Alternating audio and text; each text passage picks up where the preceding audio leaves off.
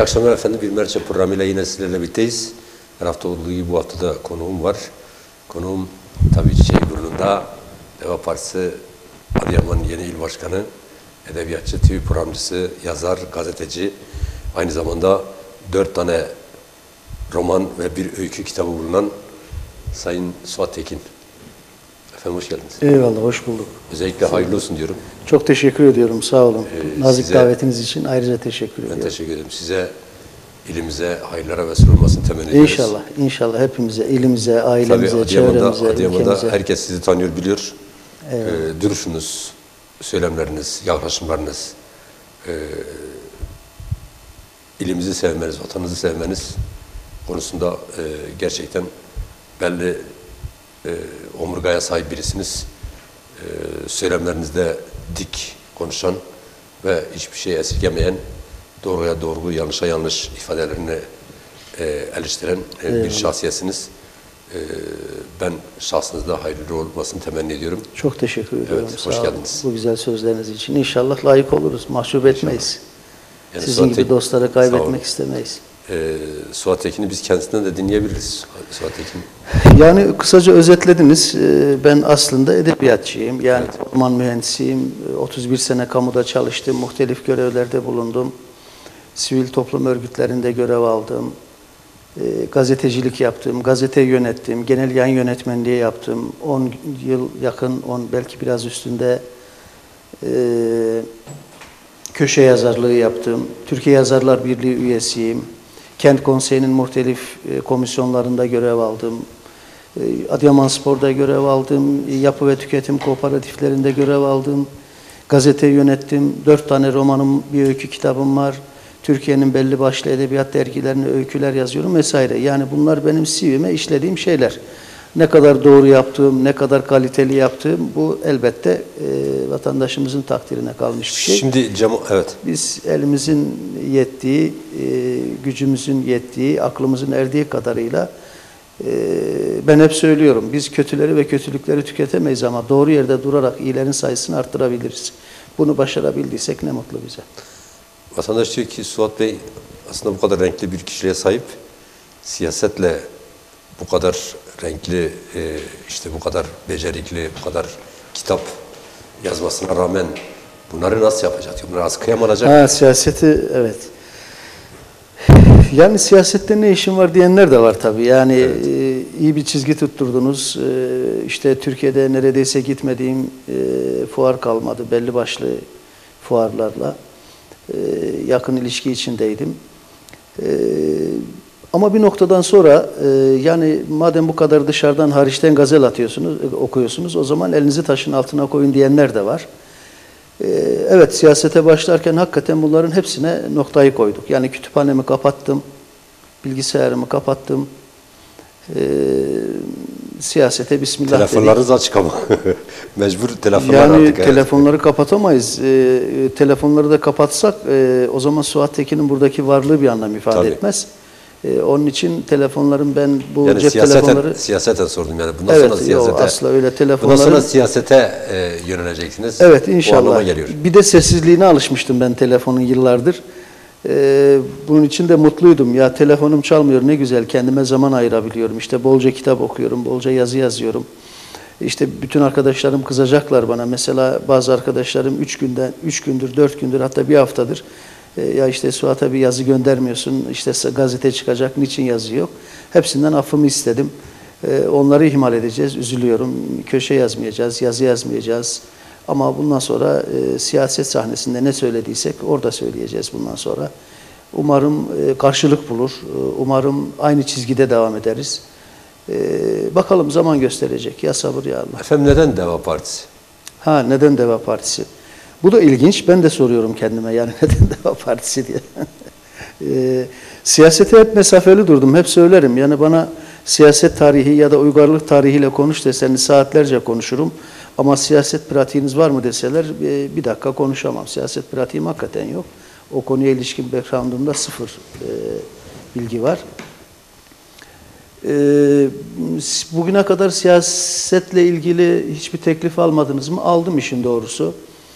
Ee, olurdu olmazdı o ayrı bir konu ama e, niçin yoksunuz, niçin aramızda değilsiniz diyen siyasi partiler oldu.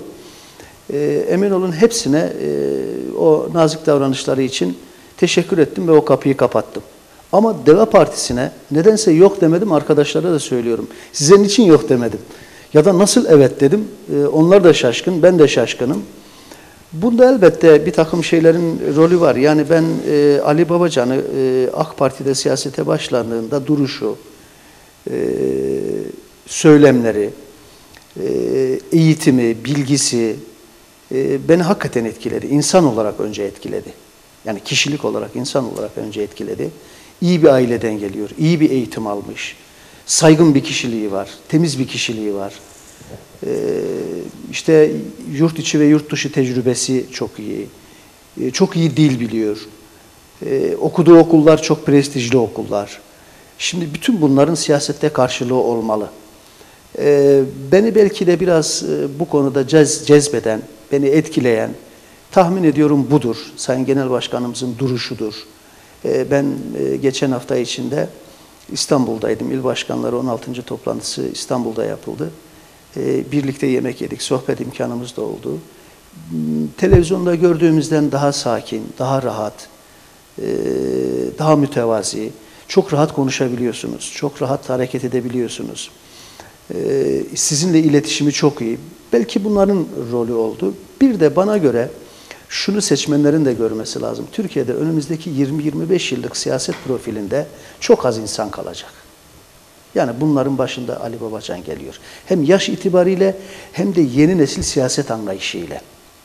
Yani kapsayıcılığı, e, ufku, bilgisi, e, küreselleşen ekonomi, dijital dünya, bilişim dünyası, bilgi dünyası bunlar ufkunda ve e, siyaset e, portföyünde çok net, çok açık, e, belirgin bir şekilde yer eden unsurlar.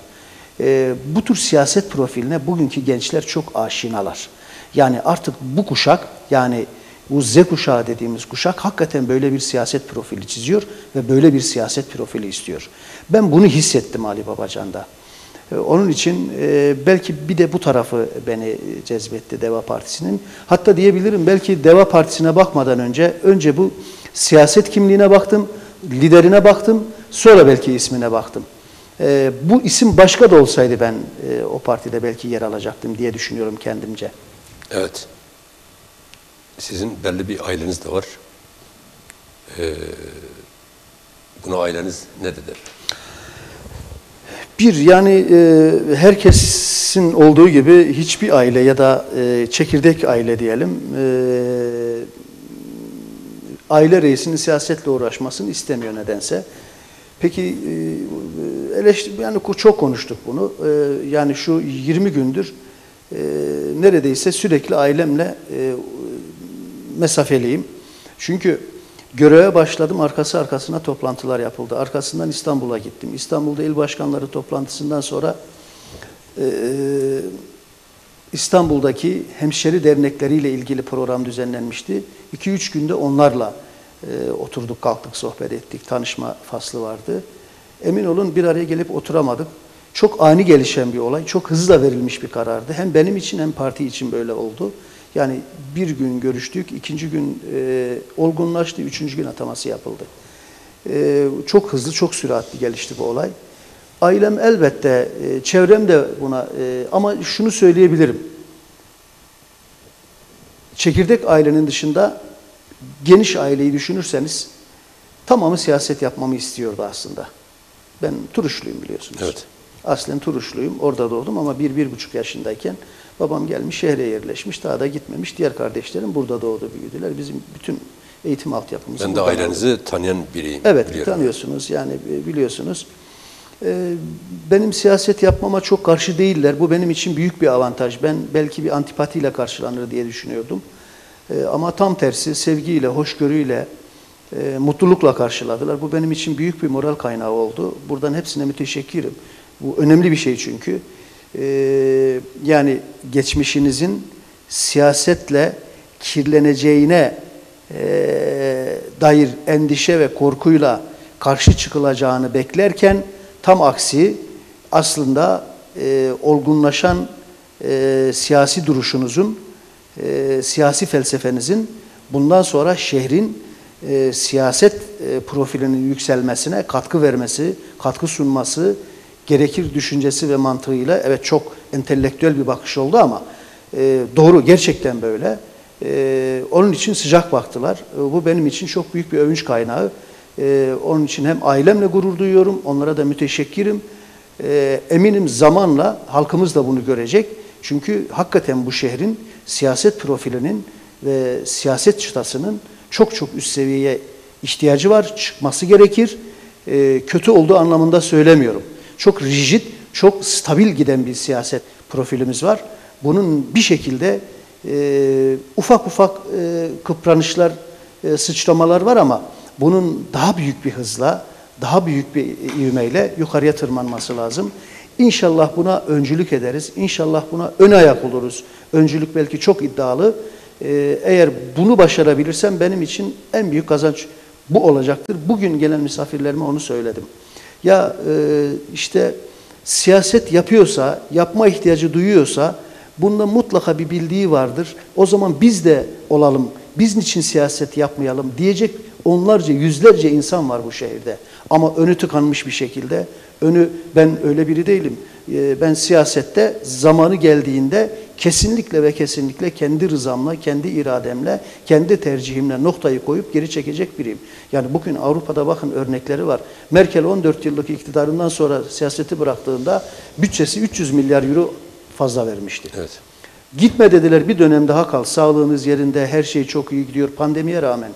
Ya ben eşimle balkonda oturup kahve içmek istiyorum. Nezakete bakar mısınız ya? Siyasetten sonraki normalleşmeye, siyasete bakış açısına bakar mısınız? Yani bu kadar normal, bu kadar sabit, sakin bir bakış açısı olabilir mi? Ben eşimle oturup kahve içmek istiyorum. Ben kek yapıp komşularımı davet etmek istiyorum. Siyaset bu referansla yapılıyor. Evinde batı var. Neyine karşısın batının? Efendim söylemine karşıyım. Söylemi de yok. Gidin İstanbul'da bir tane Türkçe tabela yok. İzmir'de bir tane Türkçe tabela yok. Neredeyse sokak isimlerini değiştirecekler ya. Evet. Neyse başka tarafa kaymayalım. Ee, başkan, Siz soruyla kesin ki ben, Ben- e, ben biraz dertliyim biraz, bu konuda. Biraz e, böyle güzel açıklamalarınızdan dolayı ben Eyvallah. kesmek istemiyorum. Teşekkür Sözünüzü ederim. bölmek istemiyorum. Yoksa araya girebilirim. Ee, siz şu anda geldikten sonra özellikle Deva Partisi'nin Adıyaman'daki e, durumu nedir? İl, ilçe e, başkanları var mı? Adıyaman'da ne kadar teşkilatlanmış? Seçime gidebilecek sayıya ulaştınız mı? E, bununla ilgili incelemeler Çok güzel bir mu? soru. Ee, bakın Deva Partisi iki buçuk yıllık bir parti. Ben kuruluşundan beri içindeyim. Yani kurulduğu gün içindeydim. iki buçuk yıldır beraberim. İl başkan yardımcılığı yaptım. Yönetim kurulu üyesiydim. İl başkan yardımcısıydım. Ee, başkan arkadaşımız kendi rızasıyla, kendi iradesiyle e, görev bırakınca il başkan yardımcısı olarak ben atandım. Bakın Türkiye'de 81 ilde teşkilatını iki buçuk yılda tamamlamış. 700 732, 950 küsür e, ilçede 732 ilçe teşkilatını tamamlamış, atamış, yönetimini teşkil etmiş, kurmuş. İkinci bir parti gösteremezsiniz bana. Yarın seçim olsa bu parti hazır. Bütün il ve ilçe teşkilatlarıyla hazır. Türkiye genelinde de Türkiye böyle genelinde söylüyorum. 81 il, il başkanı görevde, 950 küsür tane e, ilçenin 732 ilçesinde ilçe başkanı görevde, mahalle temsilcileri, belde temsilcileri hepsi görevde. Yarın seçim olsa deva hazır seçime. Türkiye'de ne kadar üyesi var efendim? 200 200 bine yakın üyesi var. 180 bin civarında üyesi var. 200 bin Tabii. iyi bir az- rakam. elbette öyle. Yani bunu bunu seçmen sayısıyla çarpın ortada rakam. O zaman yüzde yediyi geçecek. İnşallah biz daha fazlasını hedefliyoruz. Yüzde yedi, 200 bin. yüzde yedi e, baraj rakamı ama biz daha e, fazlasını hedefliyoruz. Ya siyasetin e, doğasında iddiası, iddialı bir şey siyaset zaten.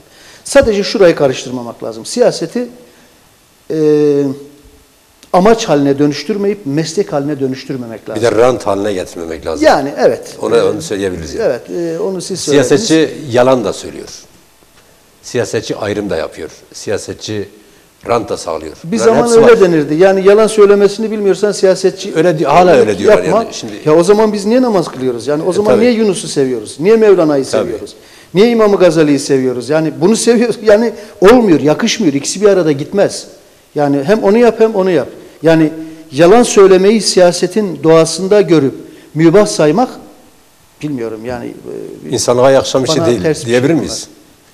Yani mesela dürüstlük deniyor. Dürü- dürüst olacaksın. Yani kim yalan söylüyorsa dürüst- yalancı Allah'ın da düşmanıdır. Başkan Ee, değil mi? Sevgili Baykan tabii. Şimdi bakın e, işte dürüst olacaksın deniyor. Ya dürüstlük zaten insana dair bir şey. Tabii. İnsana ait bir şey. Şempanzelerden ödünç alınmış bir şey değil ki. Ne demek dürüst olmak? Dürüst zaten dürüst olacak insan. Değilse tartışacaksınız.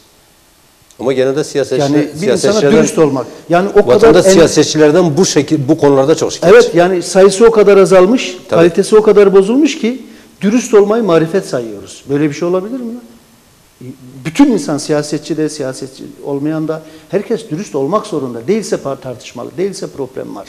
Ama biz maalesef dürüst olmayı meziyet kabul ediyoruz, marifet kabul ediyoruz. Saçma bir şey yani böyle şey olmaz. Evet. Tabii siz İstanbul'dan döndünüz. Ee, ziyaretler başladı mı efendim? Sizi Evet yani bugün çok Biraz yoğundum. var? Ee, eve bir yarım saat e, uğrayabildim. Sabah geldim, partiye çıktım, ziyaretler ve şu ana kadar e, yarım saat uğrayabilmişim. Daha üzerimdeki kıyafet bile e, seyahat kıyafeti. Onun için bağışlayın. Biraz da yorgunluğum var. E, Evet. eğer hata da yaparsam e, izleyicilerimiz bağışlasınlar sizler başta Siz- olmak üzere. siz donanımlı birisiniz. Hata da yapmazsınız. Ee, onun için e, çok ciddi bir hazırlığım da yok işin doğrusu. Size verilmiş bir sözüm vardı. Sağ olun, teşekkür ederim. Seçildiğim göreve başladıktan hemen sonra aradınız. İlk programı birlikte yapalım dediniz. Ben bu nezaketiniz için ayrıca teşekkür Ben ediyorum teşekkür size. ediyorum. Ee, ben de söz verdim. Döner dönmez e, sizi arayacağım diye. bizi kırmadığınız için ben size Çok sağ teşekkür olun, çok ediyorum. Ee, teşekkür ederim. Tabii Onun çok için- mesaj da geliyor. İstanbul'dan, Almanya'dan. e, Eyvallah, teşekkür ediyoruz hepsine. Size hayırlı olsun mesajlar da geliyor. Biz bunları da iletelim size. Ee, efendim, bu kadar ekonomi zorluklar içerisinde Deva Partisi vatandaşa ne, ne söyleyecek? Deva Partisi'nin söyleyecek çok şey var. Daha doğrusu en çok konuşacak Deva Partisi. Yani siz eğer Ali Babacan'ı tanıyorsanız, ekonomiyi de e, soru olarak soruyorsanız, Ben de tam ekonomist- da adamına sordunuz. Ekonomist olduğu için sordum. Evet, tam da adamına sordunuz. Evet. Ee, bugün bakın e, 21 eylem planı planıyla ben buraya daha doğrusu il başkanı seçildikten hemen sonra e, 21 eylem planının 16-17 tanesi 16 tanesi yanılmıyorsam açıklandı. Bu 16 tanesini oturdum. e, tek tek okudum. Altını çize çize okudum. Devam ediyor okumalarım. O kadar spesifik, yani o kadar net, o kadar açık, o kadar hedef belirleyen açıklamalar var ki. Yani sokaktaki köpekten tutun, elektrikli otomobillere, bisiklet yollarına, hidrolojik ağaçlandırmalarına bakın bunlar çok e, endüstriyel ağaçlandırmalara, yeşil dünya, yeşil e, e, çevre konularına kadar sağlıktan tarıma Özellikle de sizin konunuz bu konular. Evet. Evet, e, ben e, bu konuda dijital çalışmalar yapan ekiple de İstanbul'da oturdum konuştum. Yani öyle mükemmel bir terminoloji, öyle mükemmel bir dil kullanıyorlar ki bir an şaşırdım. Ya siz nasıl hakim oldunuz bu dile? Bu dil çevrecilerin, ormancıların, yeşilcilerin e, kullanacağı bir terminoloji. Abi hata mı yaptık dediler. Hayır çok mükemmel kullanıyorsunuz da abi biz gece gündüz bu işin içindeyiz, çalışıyoruz. Gece gündüz çalışıyoruz dediler. Eylem planını hazırlamak için. Dünya ile nasıl entegre olabiliriz? Nasıl çözüm üretebiliriz? Nasıl bir bütçeyle bu işi çözebiliriz? Daha net konuşalım. Ekonomi dediniz. Bakın neler yapılacaksa bütçesiyle birlikte, paydaş kurumlarıyla birlikte, süresiyle birlikte hazırlık yapan, çok net program ortaya koyan, eylem planı ortaya koyan bir tek Deva Partisi var. Yani şunu söyleyeyim. Bir üretimde Bir kadro mu var bunlarla ilgili yapılan Bunlar çalışma? Gece gündüz çalışıyor bunlar. Yani Hukukçular ayrı üst düzey, çalışıyor, evet, ekonomistler ayrı çalışıyor, akademisyenler ayrı çalışıyor, e, basın dünyası ayrı çalışıyor, sanat dünyası ayrı çalışıyor. Hepsi ayrı ayrı çalışıyor ve bunları o kadar net, o kadar açık ki işte şu kalemi üretmek için bizim ne kadar paraya ihtiyacımız var yazılıyor. Kaç günde üretilir yazılıyor. O eylem planında var. Dönem sonunda, günün sonunda ne kadar üretebiliriz? Zarar fa- fayda ilişkisi nedir? O hepsi yazıyor gayet. Yani sıradan bir vatandaş o eylem planını eline alsa Şunu görecek tarımda ha ya işte e, tarım teknisyenleri okulu tekrar açılacak. Bunlar isterse hazineden istedikleri araziyi ise alacak, kiralayacak ve tarım yapacak. Ziraat okulları yeniden açılıyor. Çok net bir şey. Ha ne kadar güzel. Anlaşılabilir bir şey. Dil, üslup, açıklama, bütçe son derece net. Sağlıkla ilgili sağlık çalışanlarımız eline sağlık eylem planını aldığı zaman kendi haklarıyla ilgili ne beklentisi varsa orada çok net bulabilecek. Çevreyle ilgili, çevreciler, çevreyle ilgili ne endişeleri varsa, ne kaygıları varsa o programı eline alacak. Çok net ifadelerle istediği hangi beklentisi varsa onu çok net bulabilecek. Efendim bunlar çok önemli konular Elbette ama önemli bizi konular. en fazla, en çok ilgilendiren konu ekonomi Ekonomidir. Ali Babacan da yıllarca bu ülkenin e, ekonomi bakanlığını yaptı, başbakan yardımcılığı yaptı, devlet devlet bakanlığı yaptı. Bize önemli olan ekonomidir. Bakın çok net ifadeleri var Evet. Ali Babacan'ın.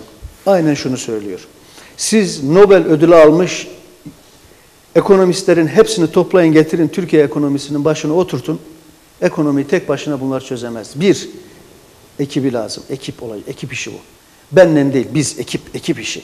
Birlikte çalışacaksınız. İki, özgürlükler, eşitlik, adalet, hukuk sistemi bununla birlikte olacak. Bakın son günlerde Ali Babacan'ın sosyal medyada dolaşan bir kas 2012'de söylemiş bunu. Tam 10 yıl önce söylemiş. Eğer ekonomide, eğitimde, yargıda reform yapılmazsa bu gidişle bakın 2012 her şeyin en iyi gittiği dönem sözden bahsediyorum. 2012'de krizin geleceğini, bu ülkeyi nelerin beklediğini söylemiş. Size isterseniz aç açabilirim. Programdan sonra e, hatırlatın lütfen. Size göstereyim. 2012'de bir oturumda, bir kürsüde söylüyor. Her şey ekonomi çok iyi, kişi başına milli gelir şu kadar lira, e, efendim 12-13 bin dolara gelmiş. İşte ilk 10 16'yı, ilk 15'i zorluyoruz e, ekonomide, dünyada. Bu dönemde tehlikeye işaret ediyor. Bizi bekleyen tehlikeler var. Ekonomiyle birlikte yargıda, eğitimde, hukukta, adalette reform gerekiyor. Bu reformları gerçekleştiremezsek ekonomideki iyileşmenin işe yaramayacağını, tökezleyeceğini ve bizi ta en başa getireceğini söylüyor. Orada değil miyiz? Tekrar 7-8 bin dolara düşmedi mi milli gelir? 13 bin dolardan. Her şey iyiydi de niye düştü 7-8 bin dolara? Efendim ülke zenginleşti deniyor. Dış müdahale var diyor efendim. Bakın çok basit bir örnek. Bizi izleyenler çok net anlasınlar diye söylüyorum. Ahmet Usta'nın 100 dolar geliri var. Çok net, anlaşılabilir diye rakamları da basitleştirerek söylüyorum. Ahmet ya da şöyle diyelim. Sizin Baykan Bey'in 100 dolar geliri var yıllık. Benim de yıllık gelirim, Suat'ın da yıllık geliri 9900 dolar. Doğru mu? Bunu topladın ne yaptı? 10 bin dolar. İkiye böldün ne yaptı? 9900 100 daha 10 bin. İkiye böldün 5 bin Beş bin. dolar. Kişi başı gelir ne oldu? 5 bin dolar. 5 bin lira. 5 sene sonra Baykan Bey'in geliri gene 100 dolar. Çok basit örnek veriyorum anlaşılsın diye. Suat'ın geliri 49.900 dolar. Topla ikisini 50 bin dolar. Doğru mu?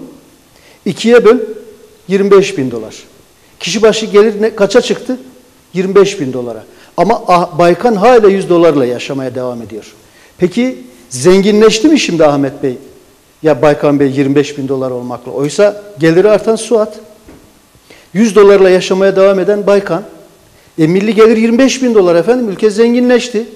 Ama Ahmet ya da Baykan 100 dolarla yaşamaya devam ediyor. Mesele bu kadar basit. Yani açabilir Zengin daha zengin, Evet. yoksul daha yoksul. Yani yüzde on kesim dedikleri kesim daha işte 50 bin dolar. Ya bu ülkenin Ama milli gelirinin yüzde seksenini yüzde yirmisi yiyor. Geriye kalan yüzde yirmiyi de yüzde seksen yiyor paylaşıyor. Ama birileri diyor ki işte sizin dediğiniz o yüzde e, az olan kesim diyor ki ya ekonomik diye bir sorun yok ki diyor. Bakın konforun artmasıyla bakın konforun artmasıyla yoksulluğun artması aynı şey değil. Değildir. Şimdi konfor artmış olabilir. Bizim çocukluğumuzda herkesin bir gömleği, bir pantolonu, bir ayakkabısı vardı. Bugün herkesin gardırobu ağzına kadar dolu. Doğru mu? Doğru. Konfor arttı yani. Herkesin birden fazla ayakkabısı var, birden fazla gömleği var, birden fazla. Ya hayat şartları Hatta gerektiriyor herkesin şimdi. arabası Evet, var. evet. Peki insanlar mutlu mu? Değil. Niye? Çünkü adalette, hukukta e, eşitliği sağlayamazsanız, devletin gelirlerini adil dağıtmazsanız, yüzde seksenini yüzde yirmi yerse, yüzde yirmisini de yüzde seksen paylaşmaya kalkışırsa konforunuz artsa bile huzursuzluğunuz devam Ama eder. bugün Mutsuz bir- insanlar. Bugün birçoğu borçla, kredi kartıyla, ondan sonra evet bankadan bankaya bankadan aktarıyor. bankaya e, aktararak hayatını idame ediyor. Yani e, bu konfor artsan olur, artmazsan olur. Yani şimdi bu diyor ki işte efendim beğenmiyorsanız gidin. Başka yere sanki babaların memleketi bana öyle diyenler var yani bazen eleştirdiğimizde. Yani bu insanların bu dediğimiz yüzde 90 e, vatandaşın yani geri düzeyi düşük vatandaşın da bu ülkede yaşamaya hakkı vardır. 40 yıl önce bugünkü konforda yaşamıyorduk ama mutluyduk. Bugün konfor içindeyiz ama mutsuzuz. Çünkü adaletsizlik, hukuksuzluk, eşitsizlik var. Senin çocuğunla ben adam üniversiteyi bitiriyor, boş geziyor. Saygı ve Herkesle ahlak aynı- konusu Ay, o da ayrı bir problem. Bak şimdi, o da e, evet yani geleneksel dokumuz da tabii, bozulmuş. o da Sosyal bozulmuş. dokumuz da bozulmuş. Tabii bunlar hepsi birbirini tetikleyen, birbirini e, etkileyen şeyler. Yani eğer adaleti bozarsa, adalette boz- bozulursa, e, hukuksuzluk devam ederse, yanlışlıklar sürerse e, ister istemez bu insanların gerginleşmesine, psikolojisinin bozulmasına, sosyal ilişkilerinin bozulmasına, intiharlar niye artıyor? Özür dilerim. Ben bugün hastaneye- kadın hastaneye- cinayeti niye var her gün? Hastaneye gittim. Psikiyatri servisinin oradan geçerken.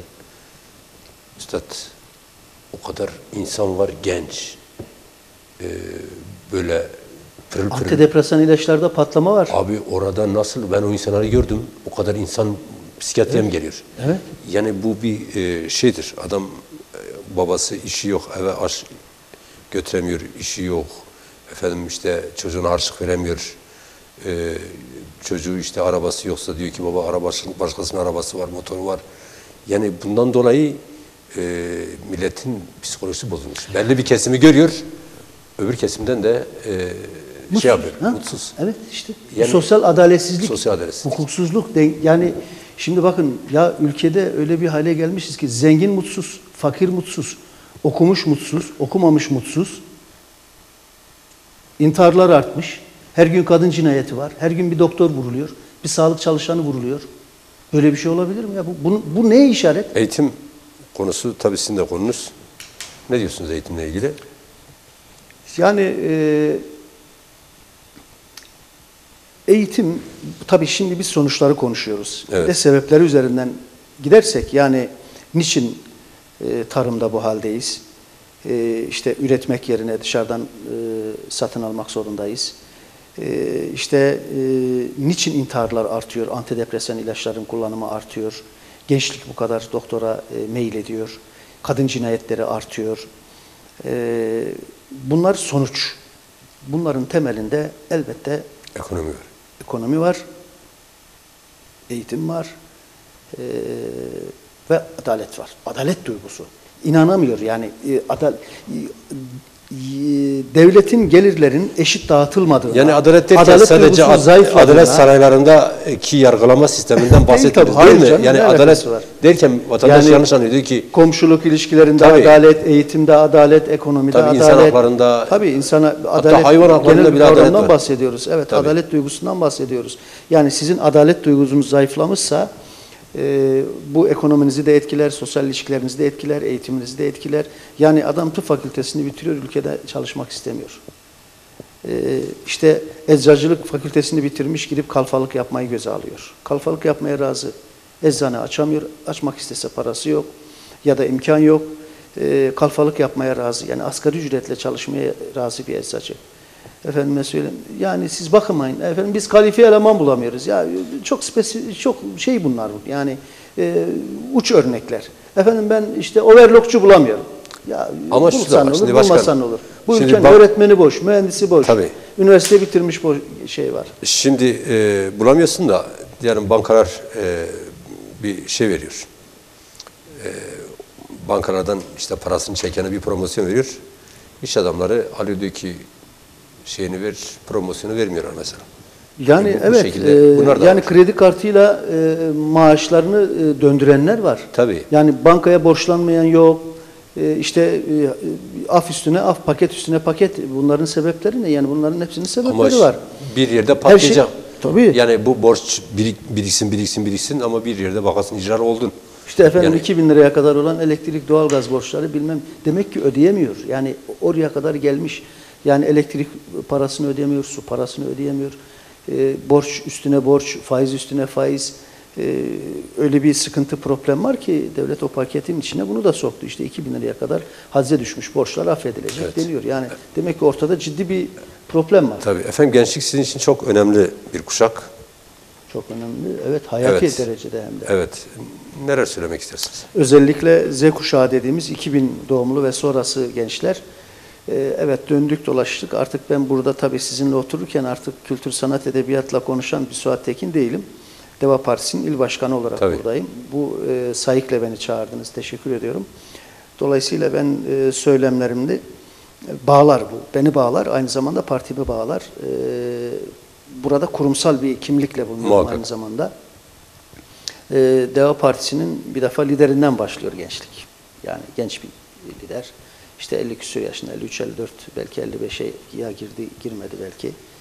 Ee, yani önümüzdeki 20-25 yılın Türkiye'de e, siyaset arenasında e, boy gösterecek e, bilgisiyle, e, gençliğiyle, dinamizmiyle, heyecanıyla gençleri arkasında götürecek, kitleler halinde götürecek bir lider var.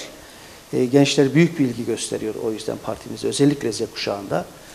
E, gençlikle ilgili özellikle gençlikle ilgili e, gençlikle ilgili çok ciddi e, hazırlığımız da var. Eylem planlarında hepsi çok net bir şekilde ifade ediliyor. Son derece açık.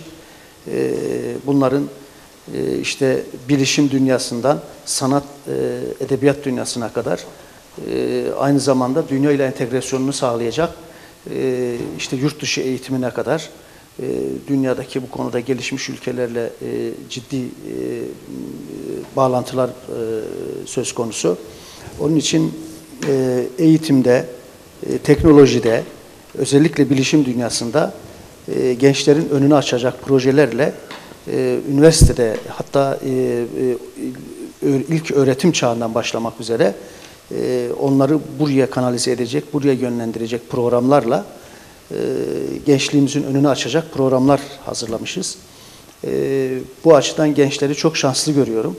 E, öyle olmasa muhtemelen diğer partiler de öyle. E, gençlik hem bu ülkenin hem bu ülkenin Hem de dünyanın. hem de dünyanın e, önümüzdeki 100 yılın e, siyaset e, sahnesinde rol alacak e, en önemli aktörleri, aktrisleri onları e, biz değil hiçbir parti ihmal edemez. Aileler de ihmal edemez. Biz, Geleceğimizi emanet evet, edeceğimiz. Yeni nesil siyaset dediğimiz bilinçle, şuurla, kültürle e, ç- e, gençlerimizi de donatacak e, programlarla e, seçime hazırlanıyoruz. E, elimizde çok güzel e, bu konuda hazırlanmış e, usta e, larımızın, üstadlarımızın e, eylem planları var. E, bu konuda ülkemiz rahat olsun. Evet. Tabii sizinle aslında e, edebiyat, kültür, sanat konusunda da Evet. sohbet etmek isterdik ama e, bu siyasete kısmet oldu.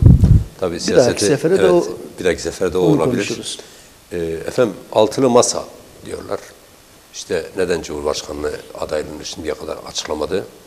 Ve diğer taraftan geçen gün e, HDP ile AK Parti arasında bir görüşme oldu. Şimdi e, bu görüşme bugüne kadar birileri tarafından e, işte yok efendim bunlar altılı masada işte yedinci altılı masa ama altta da bir yedincisi var. Yedinci ayağı var, Yedinci evet. ayağı var diyorlardı.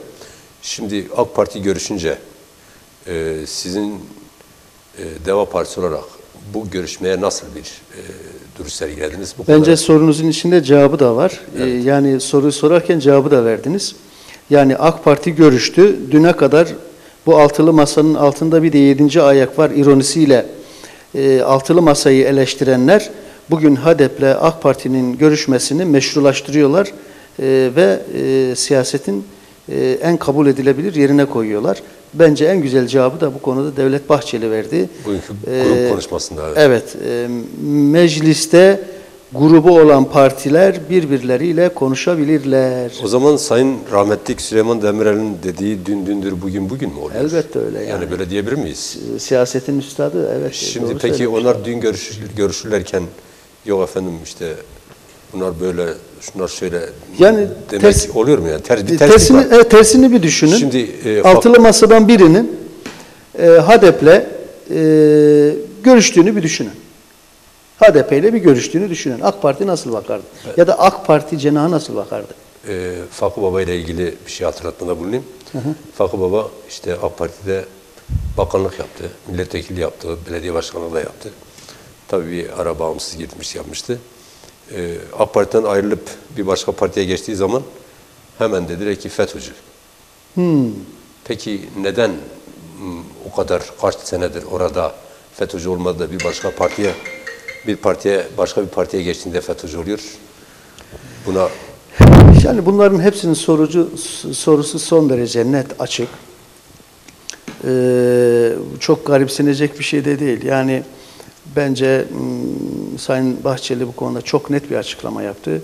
Ee, mecliste partisi olan gruplar birbirleriyle çok rahat konuşabilirler, ee, görüşebilirler. Ee, bu altılı masadan biri de olabilir, AK Parti de olabilir. AK Parti yanlış bir şey yapmadı. Kaldı ki çok e, böyle yadırganacak bir şey değil. Yani anayasa değişikliği ile ilgili HDP'in görüşüne de düşüncesine de Başörtüsüyle ilgili. Elbette başörtüsüyle ilgili. Anayasa e, bir güvence sağlamak için e, bence AK Parti yanlış bir şey yapmadı. Doğru bir şey yaptı. Daha öncesi yanlıştı. Bu son derece normal bir şey. ben de onu söylemek Evet, istiyorum. daha öncesi yanlıştı. Söylemler yanlıştı. Bugün e, aslında dediğiniz gibi Türkiye'de yani Devlet Bahçeli'nin dediği gibi olması gerekir. Evet. Bir de ittifak konusuna e, değineyim. Bir sorunuzun bir tanesi de ittifakla Evet. ilgiliydi. Şimdi e, Türkiye'de artık e, yüzde 50 artı 1 e, yani 100 bin oy kullanılacaksa bunun 50 bin artı 1 oyunu almak zorundasınız Cumhurbaşkanlığı Cumhurbaşkanı, seçimi evet. için. Yani 51 değil 50 artı 1. Evet. E, bu oyu almak zorundasınız. Türkiye'de şu anda seçim şu anki konjonktüre göre hiçbir partinin tek başına işte atıyorum 65 milyon oyun e, yüzde 50 artı 1'ini alacak durumu yok. Yani kamuoyu anketlerinden en azından yola çıkarak bunu söyleyebiliriz. E, Böyle bir durum söz konusu değil. Hiçbir parti e, bunu sağlayamaz, bu e, rakamı yakalayamaz, bu trendi yakalayamaz. E, Demek ki ittifak yapmak zorundalar bu partiler. Yani e, Cumhur İttifakı'nda, e, Millet İttifakı'nda e, 50 artı 1'i yakalaması için ittifak yapma zorunluluğu var. Yani ittifak olsa bile bu seçimlerde 51 e, 50.1'i yakalama imkanları var mı? Yani elbette bunu seçim olmadan görme şansımız yok ama e, şu anki konjonktüre Yani göre ikinci e, e, şeye kalabilir mi? ikinci tura evet. İkinci tura. Şimdi ittifakın henüz adayı belli değil biliyorsunuz. Evet. Yani altılı masanın e, adayı belli değil. E, Cumhur e, İttifakı'nın e, adayı belli. E, Sayın e, Cumhurbaşkanımız adaylığını e, ilan etti. MHP'de e, desteklediğini e, söyledi grup toplantısında Sayın Bahçeli. E, bence ortada yüzde 15-20 civarında e, Kararsız kararsız denen oyların oyların yüzde 90'ından fazlası e, iktidarın oyu. Yani AK Parti'nin ve MHP'nin Yani oyu. iktidarın kaybettiği oylar diyorsunuz. E, kaybettiği çok keskin bir ifade olur, net bir ifade olur. Yani versem mi vermesem mi kararsızlığı yaşayan bir seçmen var. Yani bu Millet İttifakı'nın adayına mı bağlı acaba? Evet. Şu anda Millet İttifakı'nın adayını bekliyor bu. Eğer Millet İttifakı'nın adayını e, istediği profilde bulursa kesinlikle AK Parti'ye dönmeyecek. E, Altılı Masa İttifakı'na dönecek. Bu da birinci turda seçimi bitirir. Sordunuz ya. Evet. e, Birin bitirir. Değilse, değilse e, yani istediği aday e, profiline uygun bir aday e, göremezse bu yüzde 15-20'lik e, kararsız dediğimiz seçmen kitlesi e, muhtemelen tamamı değilse bir kısmı buraya bir kısmı bu tarafa geçecek. E, ikinci tura kalabilir. Milletvekili dağılımı sizce? Ama ben e, it- altılı masanın altılı masanın e, bu e, kitlenin oyunu alacak e, nitelikte bir aday ortaya çıkaracağını e, ve birinci turda bu işi götüreceğinden şüphem yok. Milletvekili, Kanaatimi soruyorsanız. Milletvekili dağılımında sizce nasıl Önceki olur? analizdi, bu da kanaatimdi. Evet. Efendim? Milletvekili dağılımında Türkiye nasıl olur sizce? Yani bu Bu, anketlere bu göre. sefer bu sefer çok farklı olacak e, Baykan Bey. Bence meclisteki çoğunlukla başkanlık arasında bir fark olacak. fark olacak. Yani seçmen şöyle düşünebilir. Ben başkan adayına farklı bir adaya oy vereceğim başkanlıkta ama milletvekilliğinde farklı bir partiye oy vereceğim. Burada farklı bir profil ortaya çıkabilir. Farklı bir tablo ortaya çıkabilir. Evet bir tebessüm ettiniz. Bir oy Doğan soru Bey var. çok selamı var. Efendim? Sayın Doğan Durgun çok selamı Evet var. çok selam söyleyin bizden de Antalya'ya selamlar olsun. Evet. Doğan Bey sizi de bekliyoruz bir gün. Buradan Güzel sevgi- Antalya'dan da izleniyorsak buradan Doğan'a sevgi selamlar selamlarımızı olsun. gönderiyoruz. Evet. Tabii bir e, bir şey söylemiş ama estağfurullah ben üstattır. Kendileri siyaseti benden daha iyi bilirler. Estağfurullah. Edebiyatta da zaten öndeler. E, ama işte biz 6. kitabı nereye getirdi bilmiyoruz. Vallahi yarım bıraktım. Üçte birini de yazmıştım. Ee, Bundan, sonra- bundan sonra köyler gezeceksiniz. Geçen gün yayın evim aradı. Ben editörlük de yapıyordum. Birçoğu Evet. bilmez. İki yayın evine editörlük de yapıyordum. Onların hepsini askıya aldık. Ee, kitabı bitireceğimi sanmıyorum ama e, bazı ufak tefek e, fuarlara belki böyle bir günlüğüne de olsa ya da iki saatliğine de olsa e, gitmek zorunda kalabilirim. İl dışında belki gidebilirim. Henüz net değil, karar vermiş değilim. E, görüşüyoruz. Belki gidebilirim. Yani böyle Çanakkale, Balıkesir o taraflarda e, Bursa e, o, gidebilirim belki bir günlüğüne de olsa ya da iki saatliğine de olsa. Evet. Kesin değil tabii zamana bağlı. Efendim Deva Partisi'nin e, tek başına barajı geçeceği e, söylenmiyor. Hiç şüphe Yani, yok yani. e, şimdi tabii siyaset yapan herkes der ki ben öyle bir Tabii sorunum siyaset yok. iddiadır Der, yani. Öyle bir iddiadır. iddianız yoksa siyaset Ama yapmayın. kamuoyunda sanki Deva Partisi, Gelecek Partisi ve diğer başka partilerle birlikte ittifak yapması söz konusu. Ko- Yani şeyde geçiyor. Halk arasında geçiyor. Konuşuluyor, evet. Siz de Adıyaman'da birinci kişi olarak bunları belki gittiğiniz İstanbul toplantısında da duymuşsunuz veya sormuşsunuzdur. Çünkü siz de iyi soru soran birisiniz. Ee, böyle bir durumda siz Adıyaman'dan aday olur musunuz? Ha, hiç beklemediğim bir soru. Yani ittifak olması, bakın ben e, il başkanlığına da aday olan biri değildim. Ama bugün il başkanıyım. Siyasi, bakın ben emeklilikten sonra iki şeyi yapmam diyordum, ikisini de yapıyorum biliyor musunuz? Evet. Çalışmam diyordum, çalıştım. Siyaset yapmam diyordum, arama bariyer koymuştum. Kesinlikle yapmam diyordum, şu anda siyaset yapıyorum. Onun için çok peşin hükümlü ya da e, Büyük konuşmamak büyük gerekir konuşmamak- büyük konuşmamak lazım. Hakikaten büyük konuşmuşum, kabul ediyorum. Ee, yani milletvekili aday olur musunuz? Yani ben e, siyasette e, aday olmak, e, arzu etmek, istemek elbette önemli bir şey. Olanlara da saygıyla karşılıyorum e, hevesli, heyecanlı olanlara. Ama gerçekten benim böyle siyaset milletvekili olayım, bakan olayım, şu olayım böyle bir he- heyecanım, hevesim yok.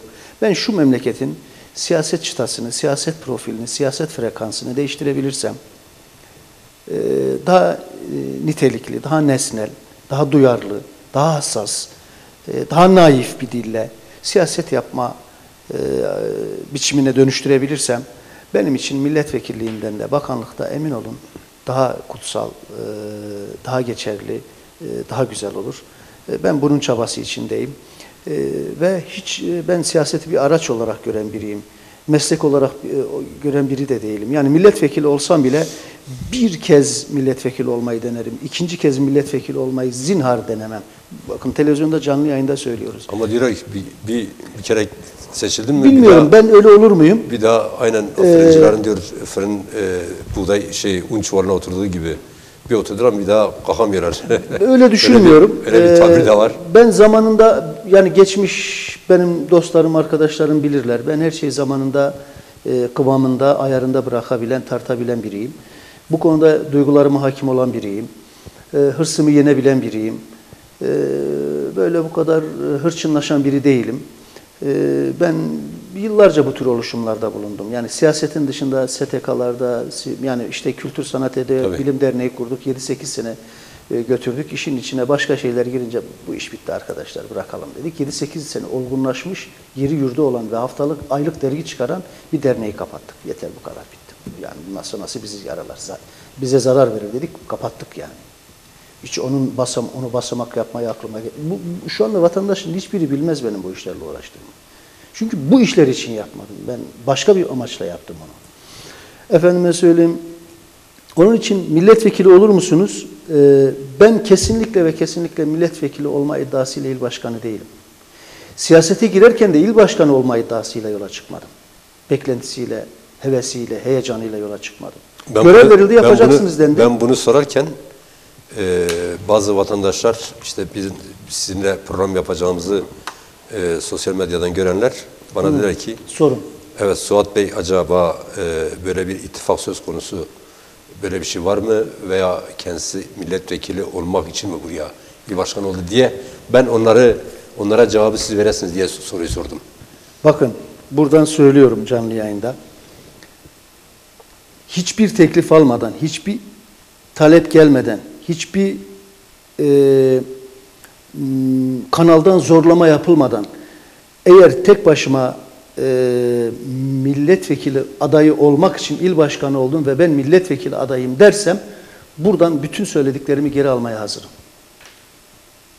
Yani bu kadar iddialı Evet ama e, şimdi zaman ama yarın öbür gün Suat Bey milletvekili adayımız olmalısın ittifak yapıyoruz dendiğinde bitti. Milletvekili adayım ama bir dönemi geçmeyecek. Bir dönemi geçmeyecek. Bu kadar açık ve net. Yani böyle kemli kümlü kıyısından geçen arkasından dolanan tiplerden değilim. Yani bir daha bir daha demeyeceksiniz. Değil mi? Kesinlikle böyle bir. Yani siyasetin sancısı burada zaten. Doğa, Israr, Doğa- Doğan Bey bizi zevkle izliyor. Evet. s- siyasetin sancısı burada. Siyasetin problemi burada. Siyasetin e, sıkıntısı burada. Yani onu kendi malınız gibi görmek, babanızdan size miras kalmış gibi görmek, e, sanki siz orayı terk ederseniz e, orası dağılır gibi görmek. Şunu da Bunlar hatırlatabilir işin miyim?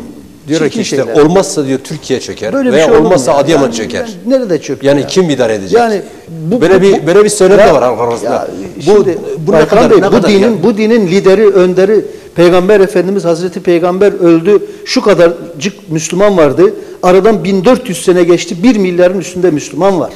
Evet. Peygamber gelmedi ama Müslümanın sayısı 1,5 milyara yaklaştı. Önemli olan davalardır efendim. Bit, yani bu kadar görmezlikten gelmek, bu kadar sığ, bu kadar bir şey olabilir mi ya?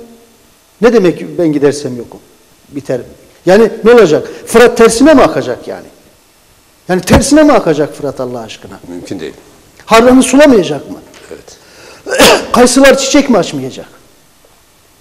Şeftali taş mı varlayacak? Güneş ne olacak? belki güneş mi doğmayacak. yani? Doğru. İlginç bir şey ya. Evet. Böyle bir şey olabilir mi?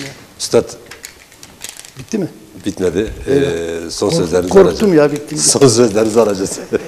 Yani son söz yok elbette ama bu yani noktalayabiliriz. programla ilgili kapatmak üzere. Ee, ben özellikle e, beni çağırma nezaketinde bulunduğunuz Bundan sonra için tek ve yani siz- zaman program yapacağız. sizinle. eyvallah başım üstüne. Ee, bundan sonra şey yok. Ee, efendim öyle olmaz. Suat abiye e, hayırlı olsun diyenler var. İsim vermeyeyim. İstiyorsa Teşekkür veririm ama. Biz de herkese selam Kendisi çok gönderiyoruz. güzel bir insan. Ben e, dışarıda söylerim isminizi. Eyvallah. E, ticaretle uğraştığınız için belki size zararı olur. Sonra maliyeden e, müfettiş falan gönderirler. Aman ismini söyle. He, ismini söylemeyeyim. Yoksa sizin isminiz her zaman bizim yanımızda e, vardır. Biz sizi seviyoruz. Ben bilmiyorum. Her kimse E, selamlar, söyleyeceğim saygılar size programdan sonra tamam, söyleyeceğim. Peki, peki. E, bilmiyorum ben doğruyu mu yapıyorum. E, Suat Bey'in tahtına bırakıyorum bunu da. Eyvallah. Yok. Evet Üstad son sözlerinizi alalım. Ee, çağırma nezaketinde bulunduğunuz için çok teşekkür ediyorum. Çok sağ olun. Ee, ne zaman davet ederseniz seve seve yeter ki müsait olalım. Çok mücbir sebepler olmayınca koşa koşa gelirim. Size ve e, memleketime katkısı olacaksa e, içimizi dökmeye hazırız. Biz dertli insanlarız. Bu coğrafya problemi bir coğrafya. Biz bu problemlerin e, çoğaltmak değil hafifletmek amacıyla yola çıktık. Onun için üzerimize ne düşerse bundan sonra yapacağız. Ben hep söylüyorum biz Kötüleri ve kötülükleri tüketemeyiz ama doğru yerde durarak iyi, sayılar, iyi insanların sayılarını arttırabiliriz. Bu bizim elimizde. Tercihi bizim çünkü biz yapabiliriz. Biz bunu başarabiliriz. Onun için e, ne zaman çağırırsanız seve seve gelirim. Ee, ben e, çok yakında şehit olan iki tane iki tane şehidimiz vardı. Onlara rahmet diliyorum programımızın başında unuttum söylemeyi. Ailelerine başsağlığı, ülkemin de başı sağ olsun. Ailelerinin de başı sağ olsun. Hepsine rahmet diliyorum. Ailelerine Bu sabır arada diliyorum. Vali Bey'in de babası rahmete kavuştu. Sayın Valimizin Sayın babası Valimize vefat etmiş. Sosyal medyadan başsağlığı e, diledik ama döner dönmez en yakın diliyoruz, evet. zamanda ziyaret edip taziye dileklerimizi ileteceğiz. Ee, Sayın e, Yaşar Beyefendi'ye de Allah'tan rahmet diliyorum. Ee, Ya- Yaşar'dı zannedersem yanlış hatırlamıyorsam. Allah'tan rahmet diliyorum. Ee, Sayın Valimize de başsağlığı diliyorum. Ee, En yakın zamanda döner dönmez ziyaret edip makamında da başsağlığı dileklerimizi ileteceğiz. Ee, mekanı cennet olur inşallah. Ee, hepsini burada söylemeyelim. Bir kısmını bir sonraki programlara Sonraki bırakalım. zaten diğer arkadaşlar Ee, ama gerçekten dertliyiz. Gerçekten Evet. sorunlarımız var, problemlerimiz var. Ee, ben e, vatandaşlarımıza Ama konuşmak gerekir dinleme- başkan. Şimdi e, sen sus ben susayım. E, birileri keyfetsin. O yok yani. O öyle bir lüks yok e, bence. Evet, doğruları konuşmak suretiyle, e, gerçekleri konuşmak suretiyle, e, haklıları konuşmak suretiyle neyi değiştirebiliriz? Yani Sokrat değiştiremedi. E, işte Galile değiştiremedi, Bruno değiştiremedi. Bizi de değiştiremeyeceğiz elbette. E, yani bu çok e, kadim bir soru, e, problem. E, insan var olduğu olalı bu problem var. Yani e, hep söylerim okumak ve bilgi e, başa derttir ama onurlu bir derttir. Yani insanın başına dert açar, belalı bir iş ama onurlu bir iş aynı zamanda. Ha ya belalı işi e, tercih edeceksiniz, e, etmeyeceksiniz. Ya benim etine sütüne karışmam, bana ne çeker köşemde otururum diyeceksiniz. Ya da onurlu bir duruş sergileyeceksiniz. E, sanırım biz onurlu duruşu tercih etmek istedik. E, e, bunun memleketimize, insanımıza e, hayır getirmesini diliyorum. Herkese saygıyla, Programımızın ismi Mertçe. Bazen diyorlar ki işte sormuyorsunuz. Bence her şeyi sordunuz. Soruyoruz değil ben mi? de açık yüreklilikle cevalamaya çalıştım. Yani programımızın Hiçbir ismine uygun bir mahal yok bence. e, programımıza programımızın ismine uygun, Uygun, şekilde fevkalade program uygun, yaptık mı? hiçbir Siz iyi bir yok. araştırman olarak sizden e, öğrenmek istiyorum. Ee, ben hiçbir e, programla ismiyle çelişen bir ifade görmedim. Ee, gayet netti sorular. Ben anladım en azından. Anladığım biçimiyle de e, son derece açık biçimde cevap vermeye çalıştım. Ee, umarım bundan sonra daha e, vatandaşımızın beklentilerine e, cevap verecek şekilde hem sorular hem de cevaplarla buluşuruz. Hem size teşekkür ediyoruz. Ben teşekkür ederim efendim. Bu Programımıza bizi için. kırmadınız, programımıza Çok sağ olun. katıldınız. Herkese selam. Ee, inşallah tekrar e, buluşacağız. Göreviniz de size hayırlı olmasını Çok temenni sağ olun. ediyoruz. Allah konuğum utandırmasın. Gazeteci, yazar, edebiyatçı e, ve beş tane kitabı olan son dönemin Adıyaman Deva Partisi yeni il başkanı olarak göreve başlayan Sayın Suat, Suat Tekin Bey'di. Suat Bey'le sohbet ettik, hasbihal ettik. E, kendilerine teşekkür ediyoruz. Bir, bize ayrılan sürenin de sonuna geldik. Yapımda ve yayında emeği geçen arkadaşlarımı kutluyor. Tekrar sizlerle birlikte olmak üzere hepinize iyi akşamlar diliyorum. İyi akşamlar efendim.